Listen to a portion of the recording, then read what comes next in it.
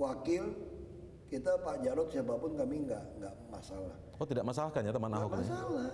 Justru saya udah ajak yang makan kan. Hmm. Saya tadinya berpikir kan banyak ya ada macam-macam nih pendukung teman Ahok lah, kawan Ahok lah, ada dukung Ahok lah macam-macam nih datang. Hmm. Iya.